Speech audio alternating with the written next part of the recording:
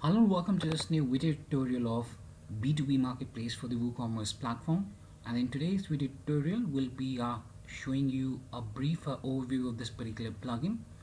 And uh, we'll be showing you the general configurations that are required for this particular B2B marketplace for WooCommerce initially after you've uh, successfully installed this particular plugin.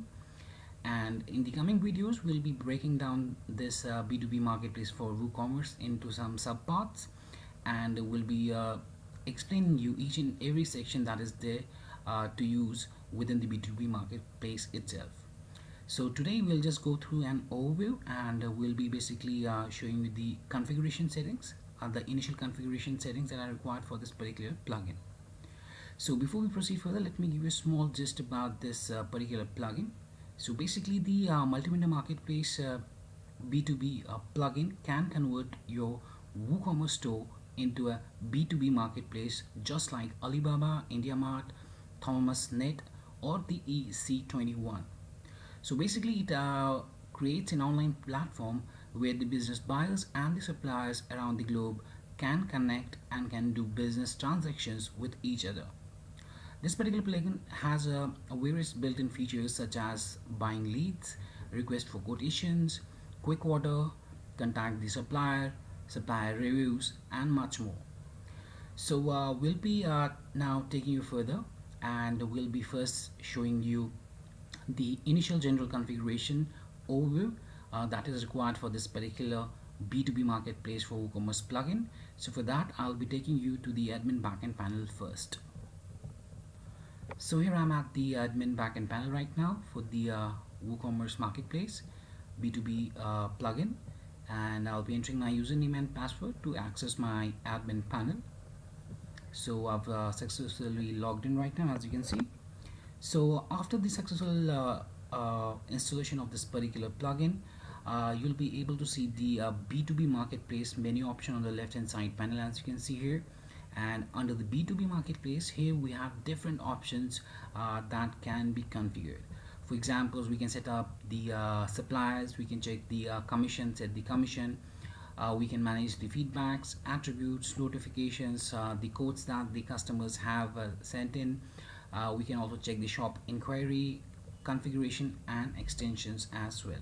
So basically under extensions you'll be able to check all of the extensions that are there for the WooCommerce platform. Let me open that up in one other window here. So tapping the extensions uh, would basically bring up all the extensions uh, that the Webkul has created for the uh, WooCommerce itself. So here you can see that we have all of the marketplace plugins here. We have the buyer seller chat plugin we have the wallet pre-order plugin for WooCommerce. So from this section you can also uh, make purchases for the uh, modules uh, that are there and for which you have some kind of a requirement there so basically under the B2B we have different options to configure it. Now after you've uh, successfully installed this particular plugin what we need to do is we need to go to the backend configuration for this particular module. So we can directly go from configuration section as well. So I'll just tap here under the B2B marketplace. I'll be tapping on the configurations uh, link here. And now uh, this brings up uh, a number of tabs as you can see here on the top. So uh, we have the general settings then we have the settings for the product here we are having the product uh, configurations then we have the chat configuration. And similarly we have the configurations for the uh, quick order. Then we have it for the uh, code system. Then we have the asset visibility as well. And lastly we have the advanced settings as well. So let's go through of each of them uh, each of these particular uh, configuration tabs one by one. So uh, I'll just tap on the general first. So basically here under the general uh, tab so uh, here the admin can set the minimum commission uh, by entering the same here.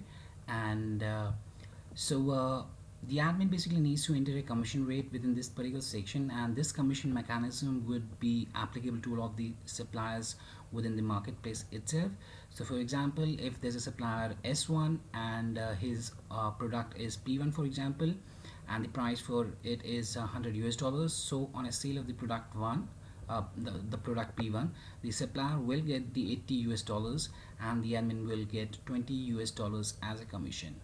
So uh, that was about the minimum commission that the admin can basically set up from this section and uh, then we have the auto approval of the uh, suppliers. So uh, if this checkbox is checked then the suppliers would be auto approved after uh, the registration uh, as a supplier. So for example if the admin allows the option then the users who will be signing up at the store as a supplier will be uh, converted into supplier automatically. Otherwise the admin can set the approval required first and after the approval only then can that particular one become the supplier then uh, lastly under the general we have this supplier show separate form. So basically if this uh, particular checkbox is uh, selected then the supplier will get a separate login and registration form.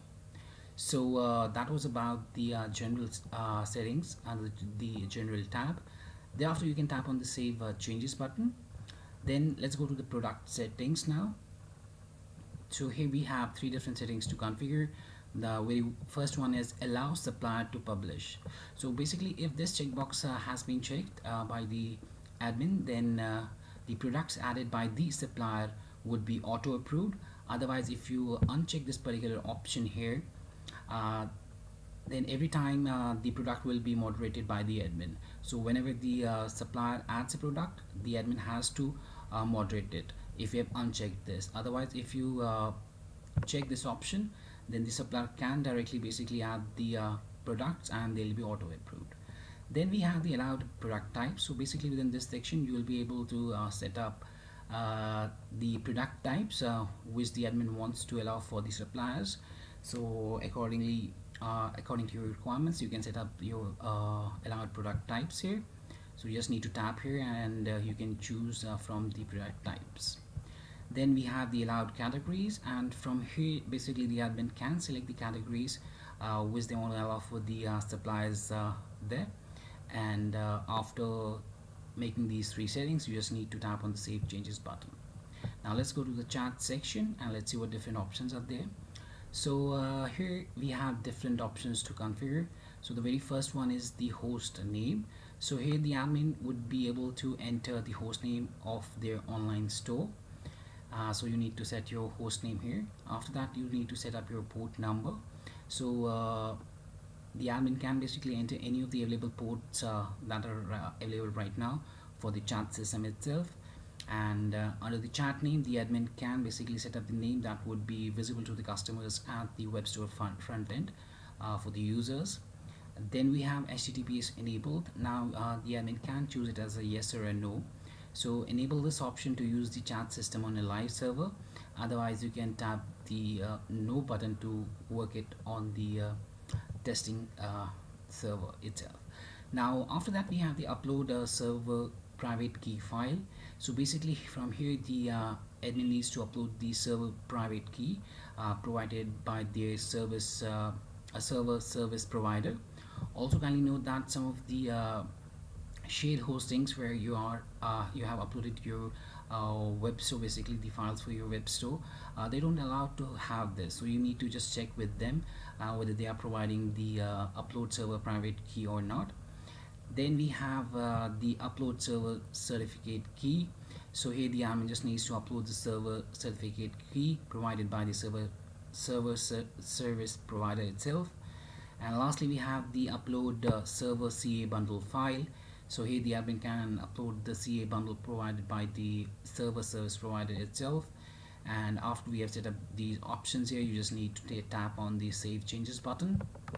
So that was about the chat section within the B2B marketplace uh, configurations. Now let's go to the quick uh, order section.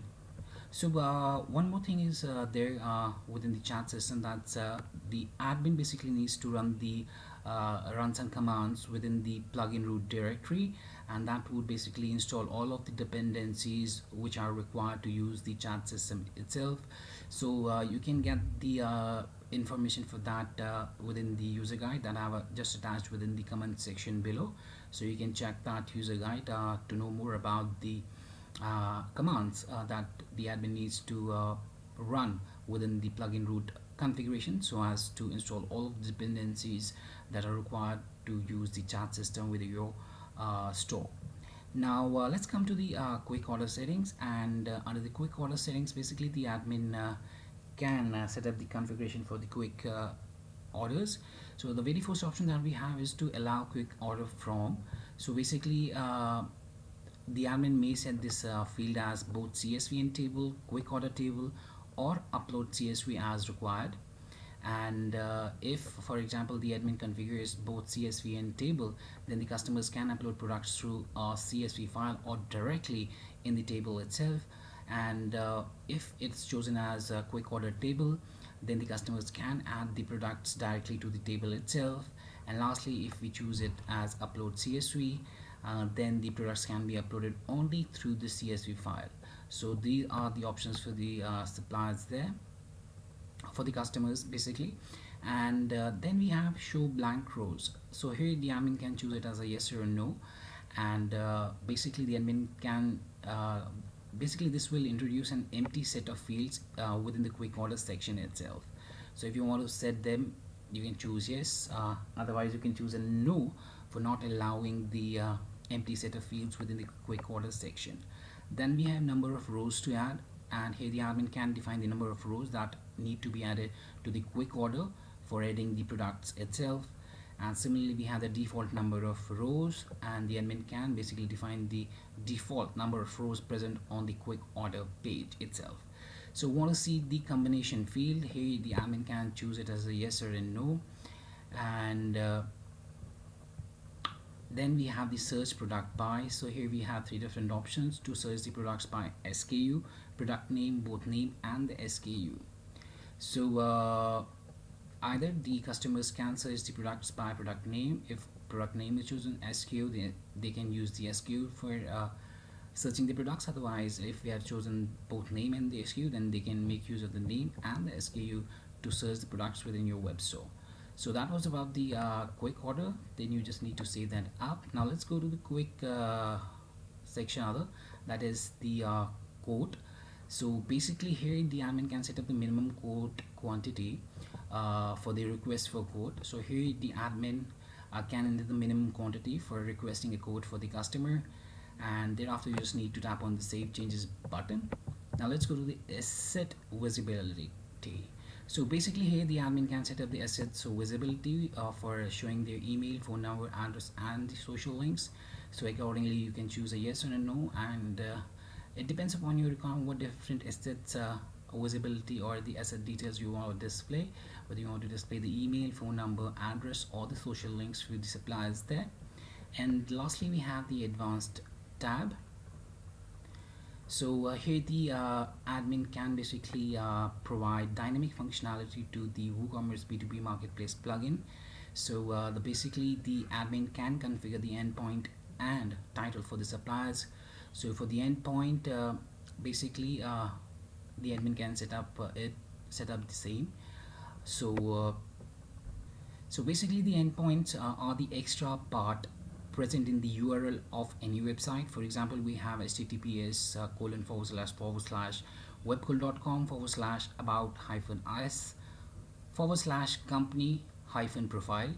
So, uh, which is mainly basically uh, used to display the different contents without the need to navigate to multiple pages. So, uh, for instance, a supplier can have a supplier profile page which displays uh, on the URL as an example. So we can make that as example.com forward slash server supplier profile. So we can basically append an endpoint edit the supplier profile to the URL to show the edit page for the supplier profiles. For example example.com forward slash supplier profile forward slash edit supplier profile. So according to that you can set up the endpoints for the suppliers then uh, we have uh, the uh, title for what we say as for the suppliers. So for this uh, uh, supplier profile we can choose the endpoint as profile and the title as supplier profile. For the suppliers collection page we can set the endpoint as the collection and the title would be supplier collection. And uh, supplier feedback the endpoint would be feedback so that would be the text at the end of the URL there. Then we can set up the title and similarly we can set up the quick order endpoint as quick order and the title as quick order.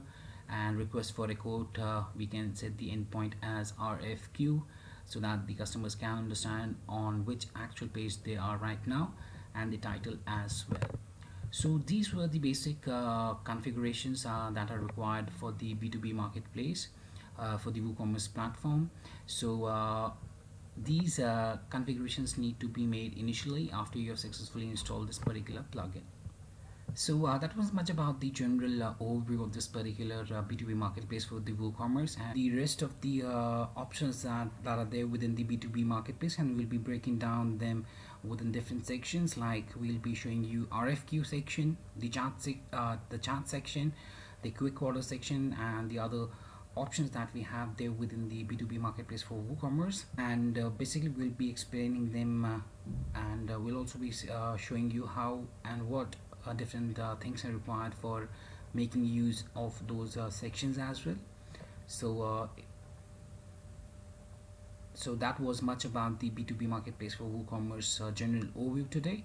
And i hope it helped you out and if you have any questions or queries regarding the b2b marketplace for the woocommerce platform then you can always get back to us at support at the rate of webkul.com or you may uh, you may raise a ticket at webkul.uvdesk.com Thanks for watching this particular video and have a great day ahead.